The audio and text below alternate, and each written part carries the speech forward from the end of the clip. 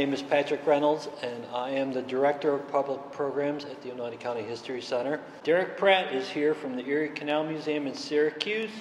Currently Director of Education and Public Program. He's here to talk about food and the program and an initiative called Erie Eats, so let's give him a hand.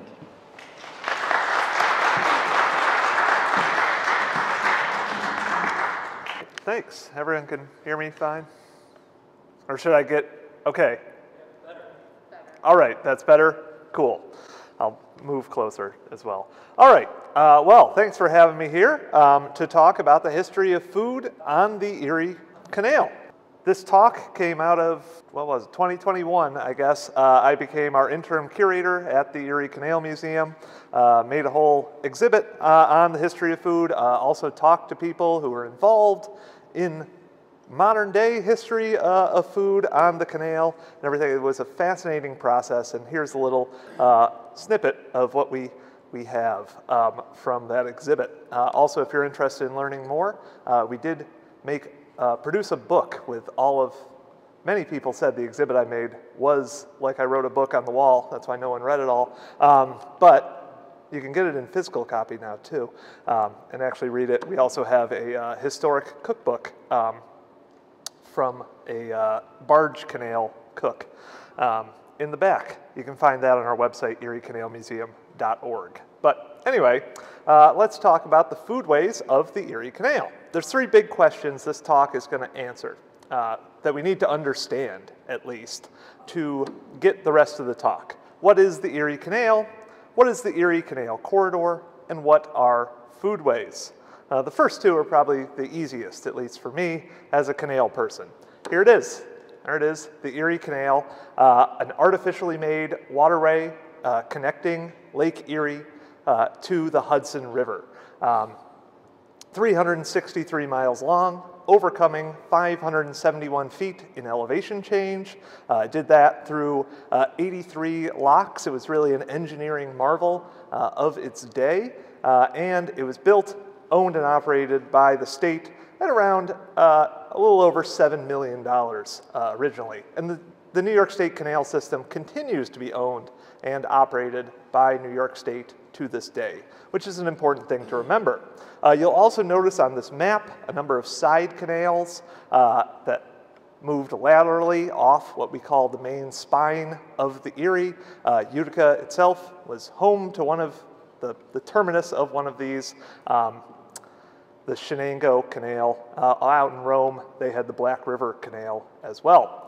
Um, and what we define as the canal corridor typically uh, is 25 miles uh, off of the Erie Canal. And even to this day, between 70 and 80% of all of New York's population continues to live within that corridor. So you can see just how impactful um, the canal's construction was in determining settlement patterns, um, which we're going to look at. Um, so the other question, what are foodways? Well, here's the official definition. Uh, foodways are the cultural, social, and economic practices relating to the production and consumption of food. Foodways often refer to the intersection of food in culture, traditions, and history. So pretty much anything and everything that has to do with food, uh, and as you're going to see throughout this talk, uh, beverages as well. They're quite important too. Um, so to understand how the Erie Canal transforms the foodways of New York uh, and uh, in many cases America, we have to go back to before there was an Erie Canal. Here we've got New York, uh, 1809. Uh, this is a map from our collection. Um, and obviously, there were people here uh, long before the canal was built. Uh, the Haudenosaunee, or Iroquois Confederacy, uh, lived throughout what is now the canal corridor. It's their ancestral homelands. And they had a rich food culture and continue to have a rich food culture themselves, uh, based primarily on uh, these three plants, uh, what are known as the three sisters, corns, beans, and squash. Um, typically planted um, in a mound um, all together. Um, it's an incredible system of symbiosis. Uh, all three sisters work together um, to support one another. Uh, the corn typically grows first, going, growing straight and tall, uh, which allows the beans to wrap up around the, the corn stalks, providing uh, poles for them. Uh, the beans also replenish nitrogen in the soil, which the squash and uh, corn deplete.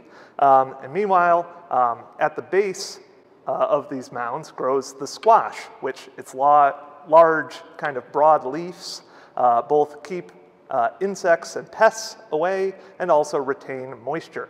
Um, so this is super effective um, agricultural system the Haudenosaunee develop. Uh, it's augmented by hunting and fishing, um, as well as gathering of naturally occurring uh, fruits, vegetables, herbs, roots, that sort of thing.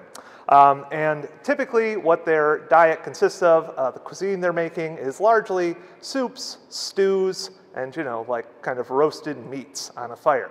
Um, starting in the 1600s, you start having Europeans begin to show up. Uh, they move, uh, originally the Dutch, move up the Hudson River and then the Mohawk River. Uh, and in the Mohawk area, they start building farms. Um, these these European uh, settlers, um, introducing new food stuffs to the area, uh, notably wheat and livestock like uh, cows and pigs.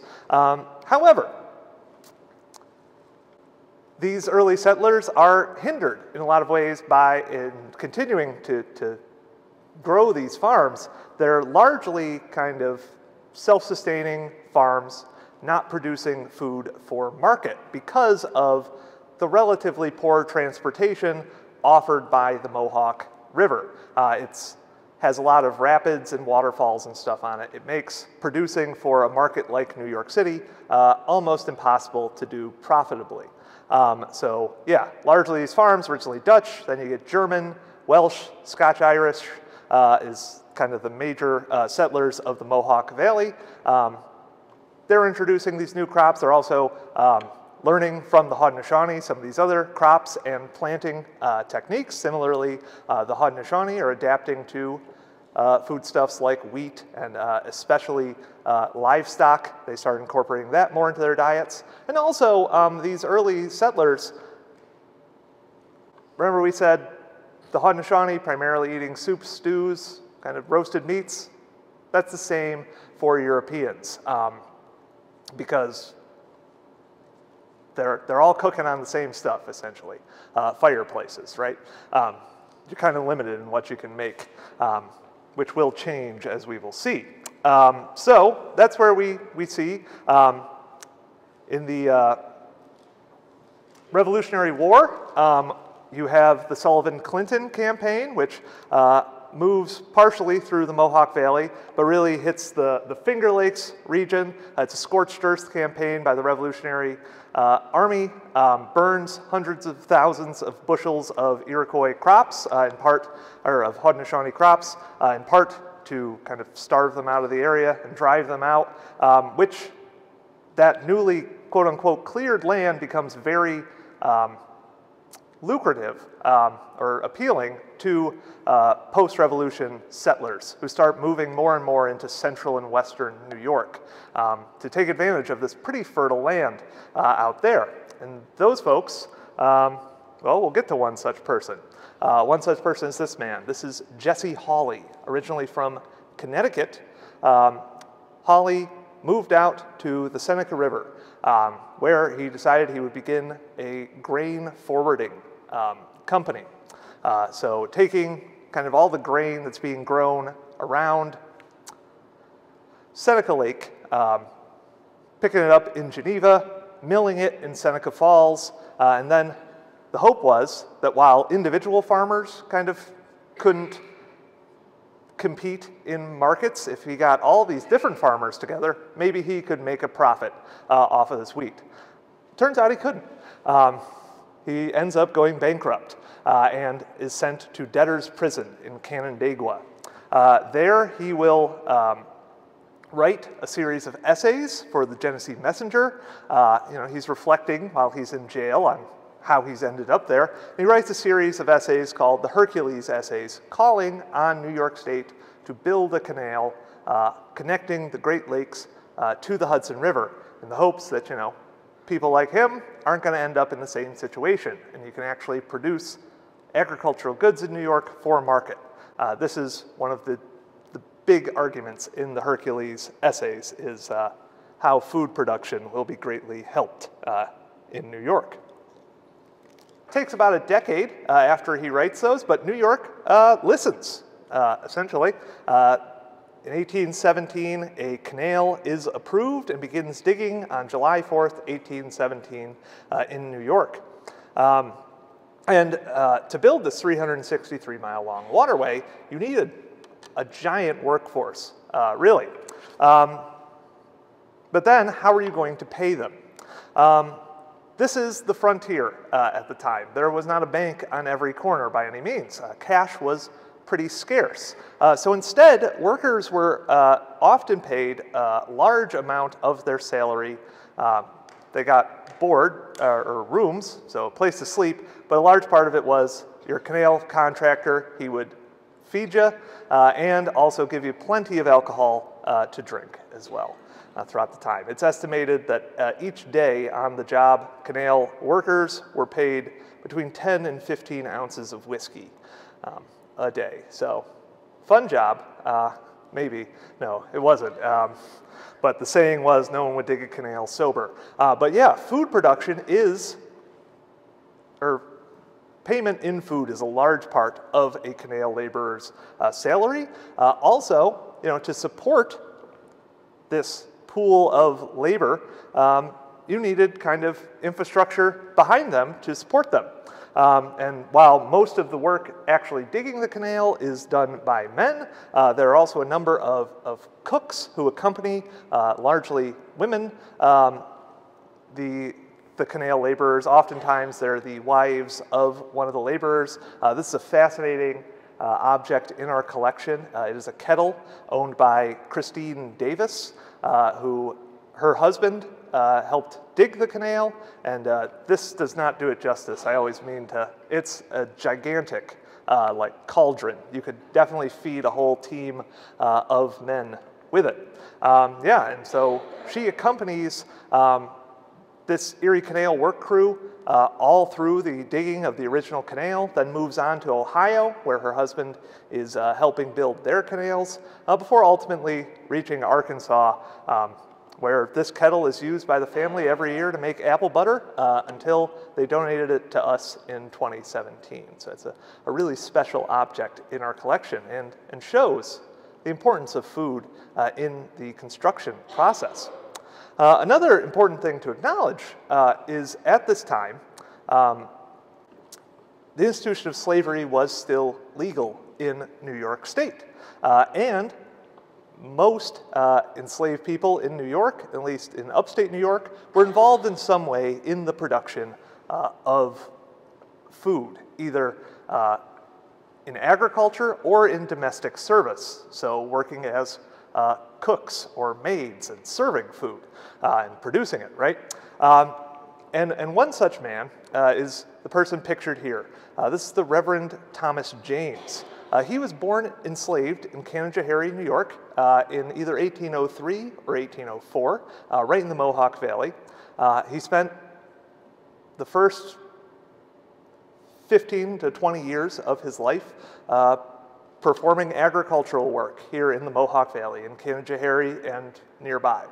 Um, but as they were digging the Erie Canal through Canajoharie, Thomas James saw his opportunity and followed the staked out route of the canal. It hasn't been built yet, but they've, they've laid out a line, uh, pretty much leading all the way to the Canadian border. He would cross there, uh, helped dig the uh, Welland Canal, uh, Canada's response to the Erie for about a season or two, uh, before returning to New York, where he got a job uh, in one of the bustling grain warehouses in Rochester.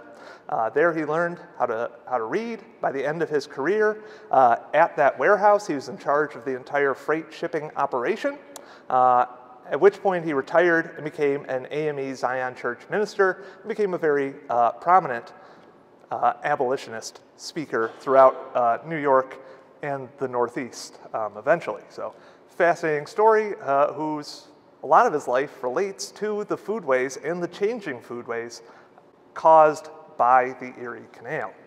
Um, so let's look at some more ways the Erie Canal will change how New Yorkers interact with food. So prior to the canal's construction, it would take about 30 days to get from Buffalo to New York City. And it takes, if you're shipping a ton of grain on the Erie Canal, it was estimated it would cost you about $100. After the canal is built, it takes five to seven days to make the same voyage, and it costs less than $10 to ship the same amount of grain. This is transformative for New York's economy and how they can make food. Uh, shipping prices are brought all the way down. The big thing about shipping things like grain, or like we're going to talk about salt, these big bulk product, products, you know, you can grow grain like wheat just about anywhere, really. Um, the big thing is cutting down on your overhead costs. Um, so you can't compete in the market. You have to sell things like wheat, like salt, as cheaply as possible in order to make a profit. It's counterintuitive, but that's how it works. Um, so yeah, cutting out those transportation costs are huge for these industries. Uh, one of the areas most impacted by it is where my museum is, uh, Syracuse. Uh, Syracuse quickly evolves into the salt city. There are naturally occurring salt springs and there are salt beds underground uh, in Syracuse um, that once the canal opens,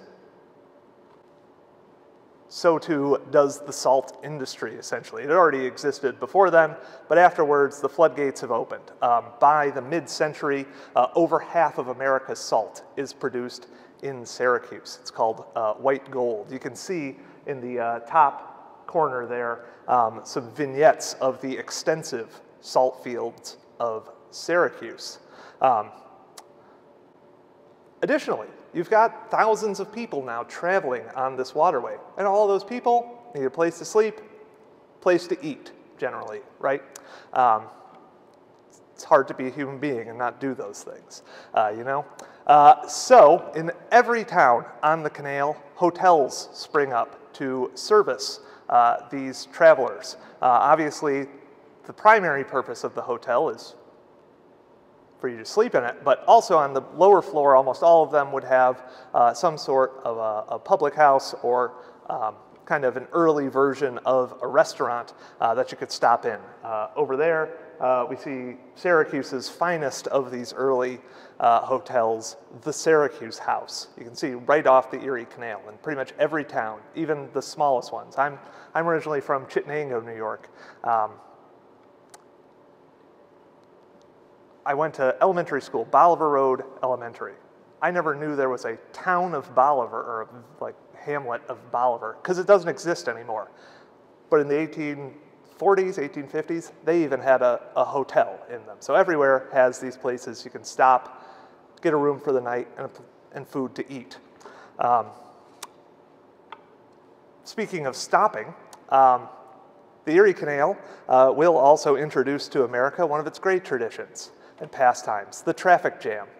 Um, yeah, so uh, those 83 locks we talked about, um, they take time to get through. Uh, about 15 minutes apiece. If you're at a place like Lockport, which has five locks all in a row, that takes about an hour and a half to, to get through.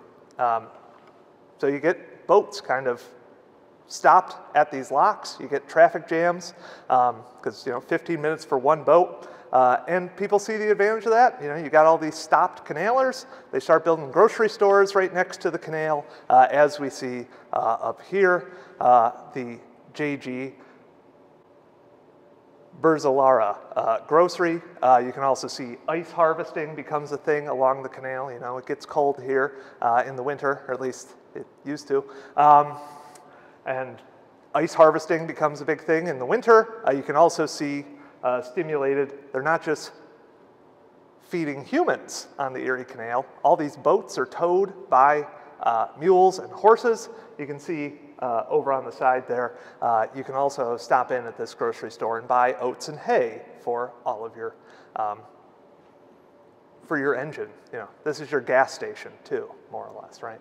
Um, yeah, and there's there's a pretty big industry in making the stuff you need to to feed a mule uh, too. Um, but perhaps nowhere is more impacted uh, its foodways uh, than Rochester. Rochester's fascinating. It becomes uh, the Erie Canal's boomtown. Uh, literally, the term boomtown is coined to describe what happens to Rochester after the canal opens in it. Um, another nickname of Rochester at this time, the young lion of the West, um, because you know it's it's roaring um, right after the canal opens. Because a kind of a perfect storm uh, hits Rochester when the canal opens. So Rochester has it's perched right on the lip, uh, essentially, of the Great Falls uh, of the Genesee, or the High Falls, uh, which you can see over here, which are able to provide tons and tons of water power. The Genesee Valley also is incredibly fertile. Um, and between Rochester and what's now Letchworth State Park, the Genesee is a pretty navigable river. Um, so farmers who grow crops uh, in the Genesee Valley can easily ship their, their grain to Rochester. But then the missing piece comes in with the Erie Canal. This cheap transportation thing makes it so this town explodes. Tons and tons. Uh, I believe it's something like, um, I want to say around 50 uh, mills uh, spring up right along the falls, taking advantage uh, of this water. At its peak, Rochester will produce 25,000 bushels of flour a day, um, or it'll process 25,000 bushels of wheat a day, I should say. Uh, and Rochester quickly becomes known as the flour city. Um, it's producing, again, more than half at one point of America's entire flour supply. The, the price of flour in New York City is, and like in the stock market commodities game, is pegged on Rochester. Uh, and you can see uh, just how important the canal is. This is an early picture over here of one of the earliest mills in Rochester, right on the banks of the canal. So you can easily grind up your flour, put it on a canal boat, and send it down to generally New York. Um, but you can also go as far west as Minnesota uh, on the canal. So, yeah, and it's, it's a mill, warehouse, just like that, where Thomas James is, is making a living. Um, I can't remember if I said Rochester becomes known as the Flour City at this point. That's F L O U R. Remember that. Cultural change happens with this as well. You know, you've got all this industrialization, growing towns. Um, and a lot of different things happen. Um, you know, of course, politicians start taking advantage of it, and they start, you know, like I said, everyone eats and drinks, right? Um, back in this point in American history, people sure like to drink. Uh, this is an interesting uh, political cartoon um, from the election of Yes, 1840, right. Uh, this is the famous Tippecanoe and Tyler too campaign. All right, everyone knows that saying. Uh, but the Whig Party at the time had two main symbols uh, to show that William Henry Harrison was a man of the people um, the log cabin and a barrel of hard cider, um, which they would build these log cabins in, in every major city and town. It's kind of their, their campaign headquarters, right? And, and a lot of the canal towns end up uh, building these log cabins. Um, Syracuse is only about a block north uh, of the canal, uh, and from these log cabins, they quite liberally uh, distributed uh, cider uh, to people who they'd like to vote. It's a good strategy if you can, can pull it off, right? Um, and um, this kind of a revolution at the time politically. Um, Western New York in this election, even though New York's own Martin Van Buren is running for president, uh, Western New York is going to swing that election in New York uh, for William Henry Harrison, and it's going to be one of the major electoral victories Harrison's going to get to bring him uh, into the presidency, which, as we all know, goes really well for him. Uh, so we can see foodways kind of impacting politics on the canal, uh, even at an early date. Um, though much more interesting, uh, I think at least, and, and with a longer lasting impact than William Henry Harrison's 30 days as president, um, are the new ideas that spring up along the canal. Um, so you've got all these people uh, traveling around, they're bringing new ideas, talking with other people who also have their own new ideas, and a lot of different social movements spring out of the canal. Uh, notably, there's abolition and women's rights. They both have huge influence on the canal and are greatly influenced by the ease of travel. But also going hand in hand with those two uh, reform movements is the temperance movement. Um, so America is a hard drinking lot at this time. See how one major presidential candidate has alcohol as a, a huge part of his own presidential campaign, right? Um, and people are seeing like issues with this, right? Uh, it's not good if everybody in society is like drunk all the time. Um, and this new religious movement, the Second Great Awakening, comes through. You've got people like Charles Grandison Finney um, preaching a new form of Christianity, saying you have a moral responsibility to improve yourself and society. And temperance is part of that movement, right? People start originally just taking personal temperance pledges, saying, I won't drink alcohol, or I'll drink less of it. Uh, a lot of times, there's a movement away from harder liquors like whiskey to drinking things like beer because it's got a much lower alcohol content, right?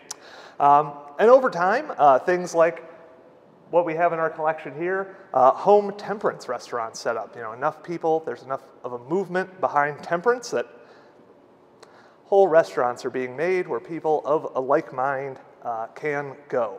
Um, and this sort of thing we'll, we'll see spring up um, again later in this talk. Um, yeah, don't know where I was going with that, but um, however, things keep changing, not just in New York as well. This is a fascinating map uh, made in the 1850s. Um, what's outlined in yellow on this map is everywhere where their primary port is New York City and they're using the Erie Canal uh, and connected canals to get their products to market. Uh, the red line is what they projected when they enlarged the canal would ultimately do. They did not anticipate railroads, but that's not important right now. Uh, you'll notice um, that in the areas that ship their products via the Erie Canal, uh, you've got places like Ohio, Indiana, Illinois. All these places, you might also notice, are farther south than New York. They also don't have the hills and rocky terrain of New York. Um, their climates are better for growing things like wheat. Uh, they have longer growing seasons, uh, for instance, and again, more fertile soil um, than even the Genesee Valley. So while the Genesee Valley in that first 20 or so years after the Erie Canal opens, it's the breadbasket of America. A large amount of America's wheat is produced there. But gradually, people start moving via the canal into the Great Lakes Basin. They start establishing farms in places like Ohio and Indiana.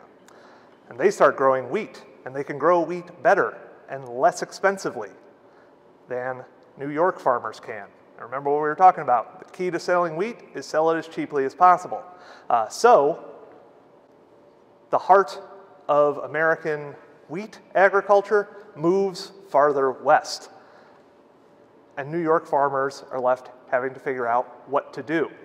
Luckily, they already kind of had an example in the Hudson River, which had previously been where a lot of America's wheat was made, uh, and they start to diversify after about 1850 or so the types of crops that are be, being grown all along the canal corridor. Uh, here we see uh, some examples. Um, for instance, Rochester, the great flower city. I should also note that while Rochester stops producing a lot of this flour, all those wheat shipments, they're not going there. But they still stay in New York. New York remains integral, and the canal corridor remains integral in America's flour and wheat consumption because all those places, Indiana, Michigan, Ohio, they still got to ship all that wheat to the eastern seaboard through the Erie Canal, and it all stops in Buffalo. Um, so Buffalo becomes a major milling town and an area where they store a lot of the nation's wheat. Um, so the Canal Corridor is still important. Rochester, however, needs to figure out a new shtick. Um, however, one of the first ever uh, commercial uh, nurseries uh, for you know, flowers, shrubs, uh, but also things like fruit trees uh, grows up in Rochester. And Rochester gets a huge commercial nursery business. This is when its nickname changes from the flower F-L-O-U-R city to the F-L-O-W-E-R city. Um, and, and every little town kind of establishes a certain product as its thing. Um, and you start making less common um, foodstuffs, things like vegetables, which have higher prices on them. You can more easily compete in the market than you could have with that cheap wheat. Um, so uh, down here in the corner, um, we have one of my favorite pictures in our collection. Uh, this is in Canastota. Anyone know what they're growing there? Oh, I heard one. A lot of people generally say onions because that's what uh, Canastota is now famous for. Um, but it was celery at the time, which was a, which was a luxury product um, because you know it goes bad pretty quickly uh, if it gets warm. So Canastota's got celery. You've got Phelps. They're the sauerkraut capital of the world. Uh, Lyons is the peppermint capital. Um, here in the Mohawk Valley, a lot of farmers switch over to dairy. Um, Little Falls becomes known as the cheese capital of the world. They still have their cheese fest uh, to this day. Uh, you can see all the dairy farms there. Uh, the hills of Oneida, Madison, and Otsego County, uh, they take advantage of all these people who are drinking, and uh, about 80% of the nation's hops in by the 1870s are produced uh, in those three counties that I mentioned. and a lot of them are shipping to breweries right on the Erie Canal, right? That's what they're picking up there. And, and these hop picking festivals become major social events uh, for the year. You know, places like Utica and Syracuse's populations during the hop harvest, noticeably their populations will decrease as people go out to take part in this pretty profitable uh, industry um, up in the hills. Um, yeah, so uh, all this diversification happens of industry. Uh, an 1870 uh, agricultural census uh, will find uh, that New York State is the most productive agricultural state uh, in the United States, and it is also um, has the most diverse agriculture. Um, the five biggest vegetable producing counties in America are all in New York. oddly enough, they're Brooklyn, Queens, and Manhattan are like the top three, uh, but then Monroe County, where Rochester is, uh, and Erie County, where uh, Buffalo is, are the uh, next two largest. Um, so yeah, uh, agriculture still goes strong throughout much of that classic towpath era uh, of the canal. But it's not just agriculture that is impacted by the Erie Canal. So you've got these cities growing and everything, uh, and rapidly industrializing towns like Utica, Syracuse, Rochester, Schenectady, Buffalo, etc. So these factories start growing and they start producing, while they can't, New York farmers can't as effectively grow wheat anymore, they can help the places that do more efficiently grow wheat make it even more efficiently. Uh, you have a lot of agricultural implement uh, companies spring up uh, on the banks of the canal or near the canal. Uh, we see over here the Syracuse Chilled Plow Company. Um, it's uh, one of the earlier steel plows. It's a sturdy plow. It's uh, kind of what helps, it's really well suited for digging up the Great Plains. Um, so a lot of the agriculture out there is done with Syracuse chilled plows. Uh, that bottom image, it's an iconic canal image. Um, everyone knows it because it's a great shot of the mules pulling the boats. But if you look on the other side of the canal, um, that's an international harvester uh, factory right across uh, from it. You know, those things can be shipped out to the Midwest. Um, the McCormick Reaper, uh, its first successfully commercially produced in Brockport, New York, right on the banks of the canal uh, as well. Also, the um, New York manufacturers start taking uh, advantage of new industrial processes, um, specifically canning. So by the late 1800s, you know, we're going to get into this bit more. Railroads are starting to outcompete the canal um, because they're faster, they're more efficient. A lot of times, yeah, you can just get things places quicker, which is always good. However, the Erie Canal, because it's slower, it generally charges lower prices. Uh, and if you've got stuff that doesn't need to get anywhere in a hurry, you can ship stuff still on the canal profitably. A new technology comes along, mid-1800s, that makes it so food doesn't have to move as quickly, and that is canning, right? Tons of canneries in the second half of the 19th century grow up on the banks of the canal. Perhaps the most famous of these is the Beech-Nut Factory. Um, in Canajoharie. Um, they start out making uh, vacuum sealed hams, uh, but will eventually uh, branch out into a number of different uh, food products. Uh, most famously, they're gum and uh, baby food, but they make a ton of different canned products. Um, in central New York, there's the Merrell-Soule Canning Factory. They own 21 different canneries on the banks of the Erie Canal. They're most famous for None Such Mincemeat, if anyone knows that brand, uh, but they also make a bunch of other stuff too. Um, and also working in these factories now. You've got tons and tons of people who have to work at each one of these, these plants. And traditionally, you know, if you're working on a farm, which is what the majority of people did in America uh, up to this point, midday came, you could take some time off, go back home, eat lunch, right? And then go back out and work the farm some more. Now, if you're working in a factory, that's not really an option anymore. Your house, who knows where it is? You might have taken a streetcar uh, there. Also, you know, this is the 1900s. They don't give you huge breaks. Um, this, this, is an era not famous for that, right? Um, so you got to find new places to, to eat your lunch and stuff, right? Uh, so restaurants really start to develop at this time to, to service these crowds of not just factory workers, but you've also got clerks and business people, bankers, etc., all living in these cities. They want to go out to eat. Uh, so restaurants start to form uh, at this time. Uh, up here, you can see Syracuse's Clinton Square. Um, this is one of the hotels in Syracuse uh, that develops over time, the Empire House. Um, their restaurant is particularly famous. It's an early kind of buffet you can go to. You know, they have like heat lamps and stuff that can keep your food warm and things. They're taking advantage of these new um, technologies that are existing for food. Uh, remember we talked about earlier, you didn't have a lot of options, regardless of who you were, of what you were eating. You're eating stews, stews, baked meats, or roasted meat, right? There's new technology coming around that allows you to cook new things in new ways, uh, combine things differently.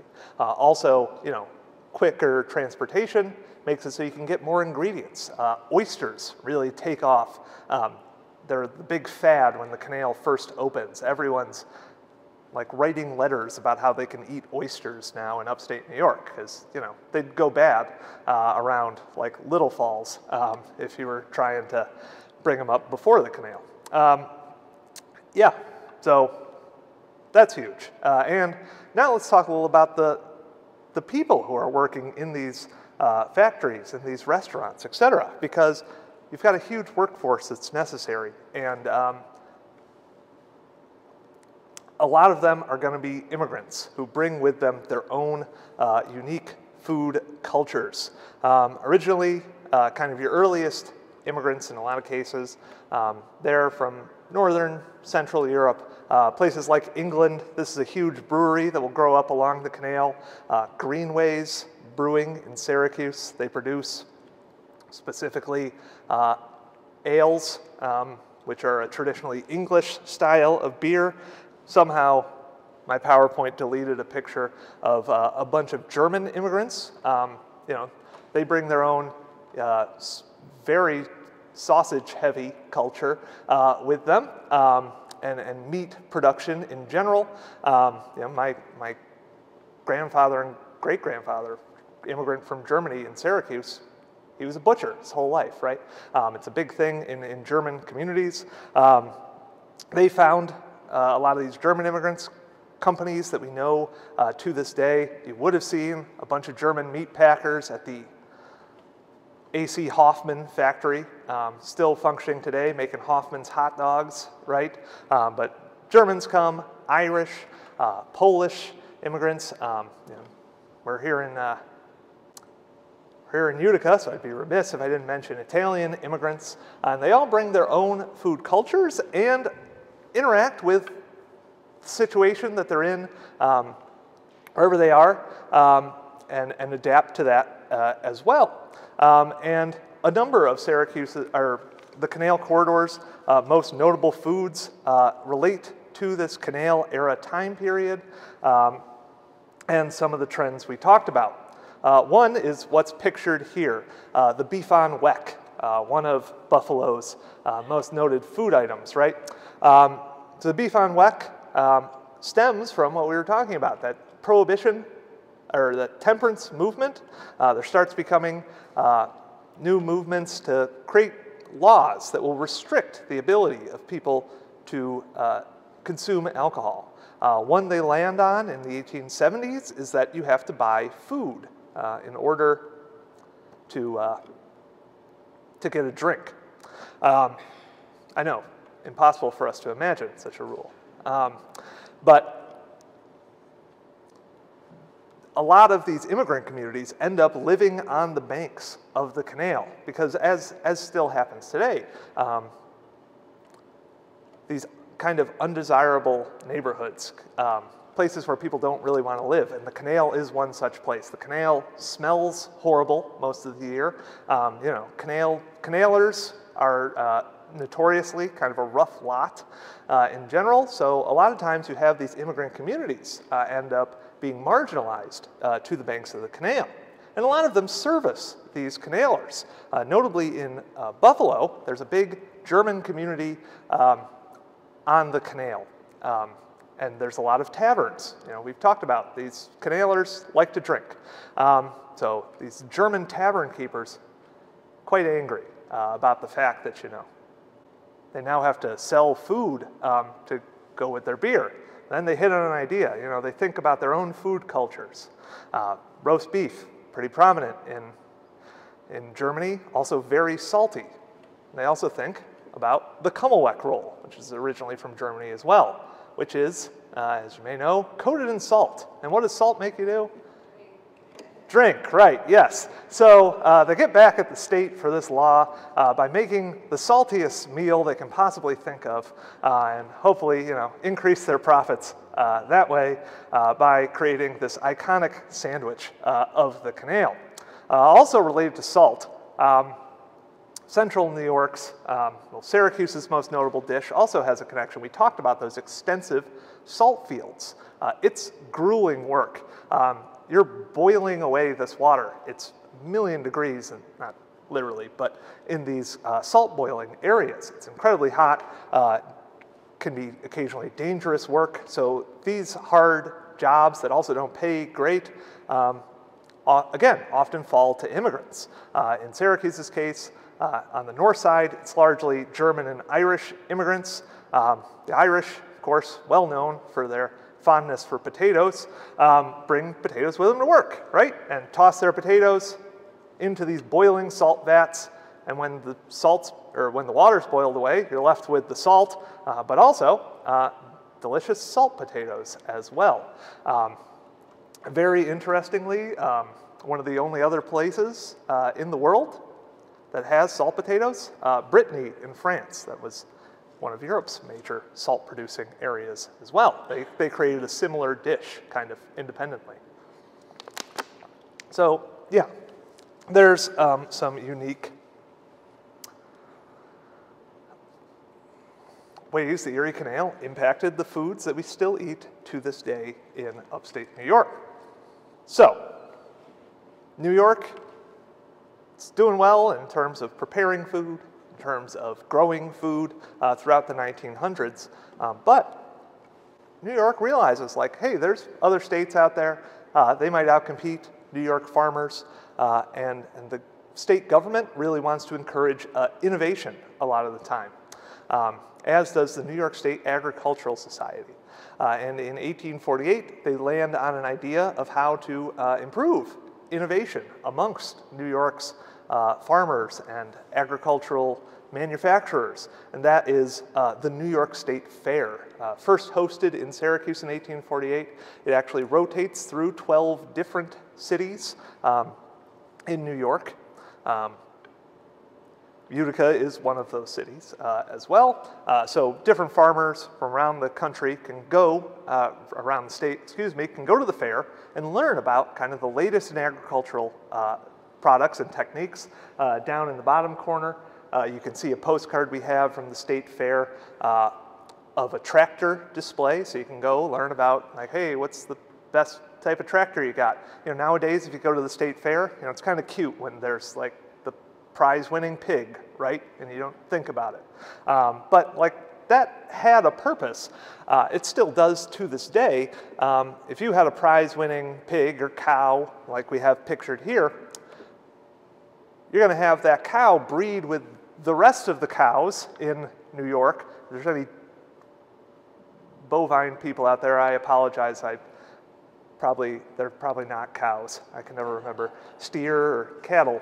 It says cattle there, so I'll go with that anyway. Um, yeah, and you know you can make money having your prize-winning pig mate with all the other pigs, but it also improves the stock of all the pigs in New York. It's kind of uh, the idea of that. So that's why you have that, and also uh, it's a great social occasion. Uh, people go meet uh, one another. You know, a lot of people find their spouses at things uh, like the state fair and whatnot. Uh, also, people from the general public can go learn about the new food products that are being produced, like those beech nut products, or like we have up here, um, an advertisement um, for the New York State Fair uh, with a new type of, of pancake flour uh, that's available. And you can still do that to this day at the State Fair, which in the early 1900s, well, late 1800s, uh, permanently settled uh, in Syracuse, where you can still visit today. Food, of course, um, still plays a major role uh, in the state fair, but mainly just so you can see what types of food you can deep fry and consume. Foodways develop a lot over the time period of the canal. But like I talked about before, by the late 1800s, the railroads are starting to outcompete the Erie Canal. By the 1890s, people are talking about what do we do with this canal? It's not worthwhile to operate anymore as is with you know, your mule name Sal pulling your canal boat. Some people want to just you know, pack it in, close down the canal. However, one prominent group of people who are against that are grain merchants.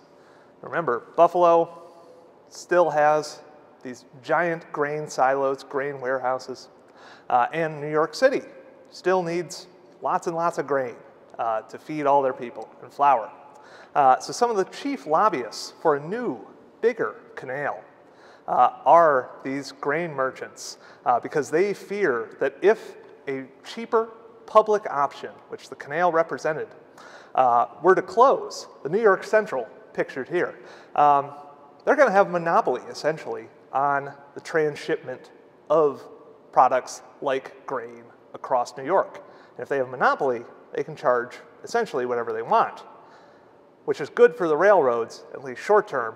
But like we've talked about, to ship grain profitably, you got to keep those prices down as much as you can.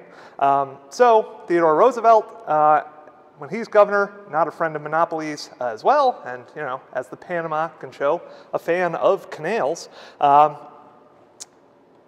he kind of spearheads this project to build a new bigger canal that could have self-propelled boats, carry a lot more stuff. And uh, that's how we get the barge canal, opened in 1918. Uh, it will uh, serve its purpose well. It, uh, at its height, I believe it's um, 31 million bushels of wheat traveled down uh, the canal in one year in the 1930s, as well as a bunch of other uh, agricultural product, products or food products. Uh, my favorite is a shipment of eels from Oswego to New York City. Um, and yeah, the, the barge canal continues to play an important role in transporting uh, food stuff um, all the way up to about the 1960s. Uh, if you go down to, to New York City today, um, Brooklyn, Gowanus Bay, they have these massive grain elevators uh, built specifically for the barge canal. For a while, until a couple of years ago, uh, Oswego had the same thing, these huge um, grain silos um, that showed the importance of grain to the barge canal. By the time of about World War II, uh, America's transportation network is pretty much complete. Uh, you know, the interstates are still being built, uh, but the transportation advantages that New York had enjoyed are largely gone. Those more diversified uh, products that New York had been able for a while to maintain and keep selling profitably, well, now you've got places like the Rio Grande Valley in Texas, Florida, Southern California, all places with much longer growing seasons with such fertile ground that they can grow a lot of these uh, vegetables and stuff um, that New York had been producing so much. And uh, you know, that kind of agriculture starts to fade away more uh, in New York. Uh, hop blight hits the hops. Uh, and also, you can now just as easily grow hops in Washington, Oregon, and transport them just as cheaply as if they were in New York, right? And also, new technologies are making it so bigger and bigger companies are able to dominate more and more market share. And it especially helps if you're kind of like centrally located.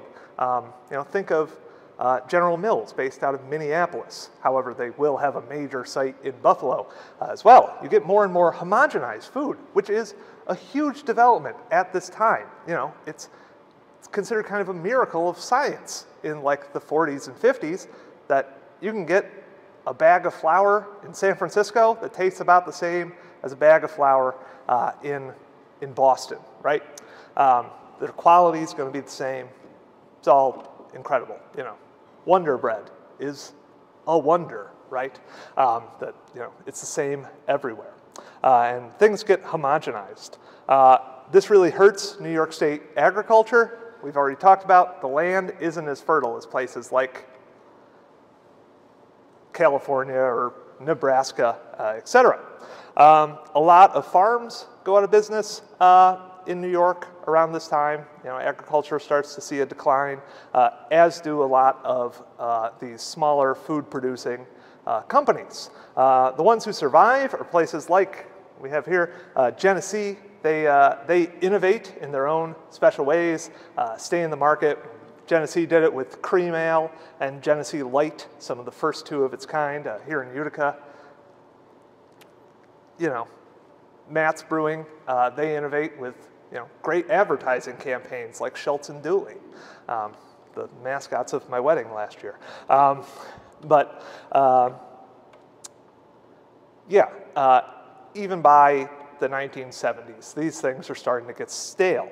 Uh, however, with kind of the late 60s, early 70s, people start questioning these homogenized products that are going into uh, our bodies, right? Uh, how we're producing things, where our food comes from, how it's made. Um, and new food movements start to uh, grow. Um, that are reflected all along the canal corridor. You've got things like the farm to table uh, movement. You've got agro-tourism. People are specifically want to go and experience like what life on a farm is like. Generally, that's not the experience you're probably getting uh, at most agro-tourism uh, industries. But uh, you know, farm to table is huge, gluten-free, veganism, etc. Uh, all of that changes how people uh, eat. Uh, and we can see kind of all the different, and also you've got new communities moving into the canal corridor, bringing their own unique foodways with them as well. And I'll uh, end the talk on Syracuse um, as kind of a case study of how these new movements have transformed uh, the canal corridor. Uh, one, you've got the Evergreen Restaurants, a block down the street from the Canal Museum in a former canal building, the oldest in Syracuse, actually. Uh, this is a, a restaurant that specifically caters to an audience that's interested in eating almost entirely New York grown uh, food. Uh, also has an extensive uh, collection of gluten-free and vegan uh, options for people, again, using New York State made uh, products. Uh, over there, you see the Salt City Market, one of Syracuse's uh, newest buildings. Um, it incorporates a lot of the newer immigrant communities into it. It is a, a food um, kind of court sort of thing um, that has I believe, eight or nine different restaurants uh, representing the different uh, immigrant and ethnic groups within Syracuse. Um, it's a great place to go to um, from all over the place. Um, you've got Burmese, uh, which you see there. Um, in the middle, you got Vietnamese, Baghdad restaurant, which is uh, Middle Eastern, um, and, and, you can see the way that these, these different immigrant communities are impacting all different uh, canal communities and their their foodways. Um, right before this, me and Patrick had a delicious uh, Bosnian meal. I had never had Bosnian cuisine before, but right, there's a growing population of Bosnians here in, in Utica. Um, yeah, and so you've got this new rich food culture uh, and that, that specification we had seen as people start looking for new and unique foods, uh, you see that playing out in the, the canal. Where I'm from, Chittenango, there's there's a bison farm now. People want, know, bison burgers and crap. Um, you can sell it for even more money though, right? Uh, and make that profitable. Little Falls has a water buffalo farm uh, in it. Um, also, um, there's a new effort to mitigate the effects uh, of climate change and potential drought brought by it uh, to use in western New York canal waters um, to uh, irrigate farmers' fields. Um, which will also, because they'll be able to rely on a steady stream of water, grow more high value crops. Uh, notably, there's, there's Hurd Orchards out in Holley, New York. They've actually been irrigating uh, their crops since the 1930s with canal water, but they've expanded that uh, immensely. Uh, lately, they grow things like cherries, peaches, apples, of course. Um, yeah, and even last year's US Open uh, out in Rochester, it's greens, watered by canal waters. That's where we are with foodways in New York uh, today um, and probably into the future. Uh, thank you.